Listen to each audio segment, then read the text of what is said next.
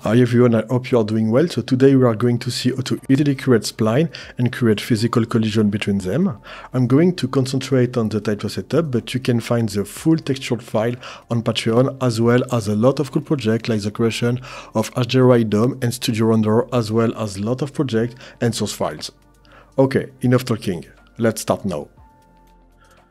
Okay, so now we are in 3ds Max and the first thing I'm going to do is to create a plane for the position of the particle. So airplane 50 by 50 and I will now rotate this plane 90 degrees. Okay, like this, perfect. I will now duplicate this plane. I can now create a tyFlow setup. Open editor. I will now add a burst 0, 0 and 40 particles. I can now add position object, pick my plane 1. You can see here in yellow the particles. I will now duplicate this event, copy, paste here, delete this plane, and pick the other plane. Okay, now we can see the particle with the same position on the plane. You can see here, same position. I will now add a set target, from neighbors. I will set a name for the channel, target 1. I can now go in target filters and exclude this event because we want that the particle only find the neighbors on the other plane. I can now go down in the menu and up a bit the radius. Like this. Okay. I can now add a find target control by time in maybe 20 frame. I will now go in target location, point and select particle target. I can now select my channel, target 1. And you can see here that the particle here go find the other plane, the neighbors in 20 frame. 20 frame, perfect. Now what I want to do is to create more particles, so I will add spawn. Select by travel distance. I will now duplicate the display. Change the color, maybe to green, like this. So I can now link the spawn to the event tree and go further in the animation. And we can see here in green the creation of the particle. It's perfect like this. You can of course go back to spawn and here in the step size up or decrease the amount of particle to less particle. I think a value of 0.5 will be very good. Okay, it's perfect. Now what I want to do is to create bind between particles, so I will add a particle bind.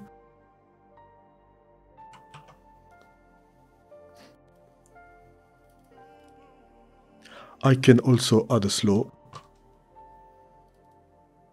with a value of 10 maybe. Okay.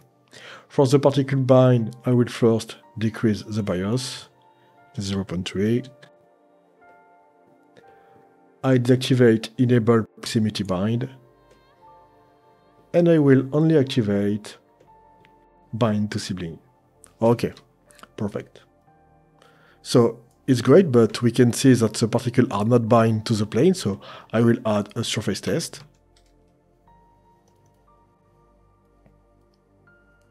Pick my plane 1 and plane 2. I can now add an object bind. Do the same, plane 1, plane 2, link the surface test to the object bind. And you can see here in the other color that the particles are now bind to the plane. It's good. I can maybe decrease the distance here in the distance test a value of 1 will be perfect, I think. Okay, it's great. If you want, you can add a force to add a gravity. I can maybe decrease the value to a low value, like 0.02. And you can see here a little gravity, and we can see that the bind are actually really good. I can go here in particle bind solver and up the particle bind, the step, to have better bind. Yeah, it's really good like this. Perfect. Now what I want to do is to create spline, so I will add a spline paths. Create new. And I will not set trajectories, but particle binding. I can deactivate all the display.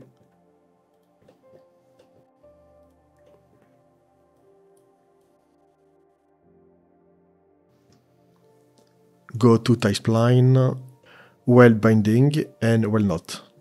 Okay, really cool like this. I can also go here in tySpline measure, go down in the menu, and up a bit the resolution of my spline.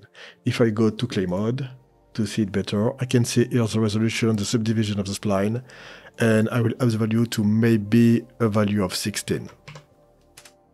Perfect. Okay, so now as you can see, I have the creation of the spline with particle bar. All is perfect. Now what I want to do is to create the rotation. So I will deactivate my tyFlow and my tySpline, go to frame 0, I will go here in helper and create a dummy.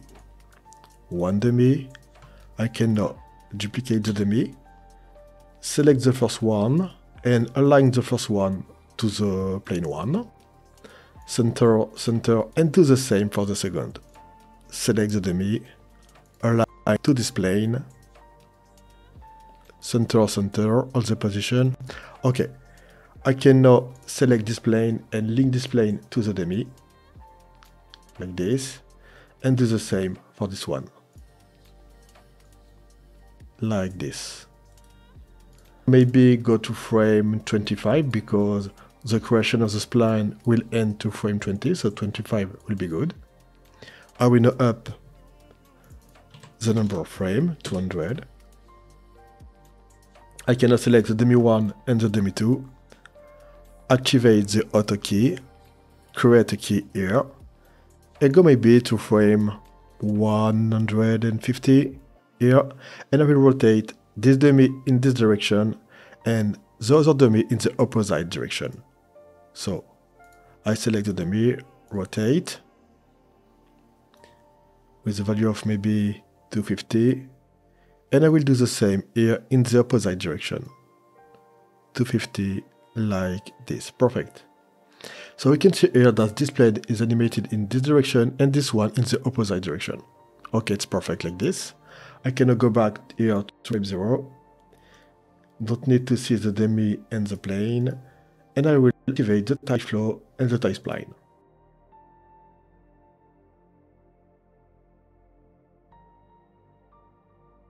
In 20 frame, and after the frame 25, we can see here the rotation of the spline.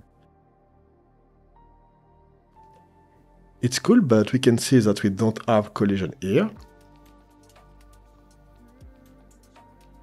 Not really good like this, so I will go back to Tyflow, open editor, and I will go here after the particle bind, I will create a particle physics. Particle physics here.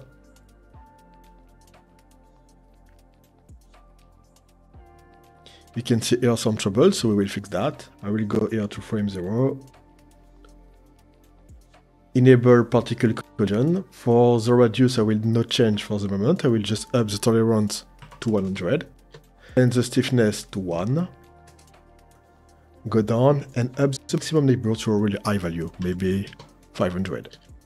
So the question of the spline and still have this issue, so I will go here and activate ignore starting penetration. And now it's perfect. And you can see that it works. It's really cool. We are really cool binding and collision, but we can see that the space between each spline is maybe too high. So I will go back to my particle physics here, and I will decrease the radius to the same value than my tie radius. The tySpline radius is here to 0.5 I think, yes, 0.5. So I will decrease the radius to 0.5.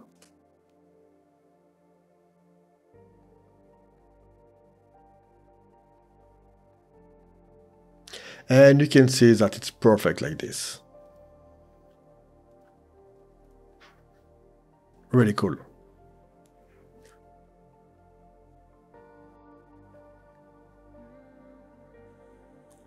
What I love to do is to go back to this event one here. And if you want, you can up a bit the total of particle, maybe 100.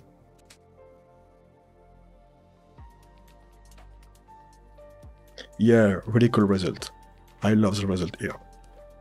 To finish, if you want to create some different result, what you can do is to play with the modify binding operator. I can go here and add a modify bindings.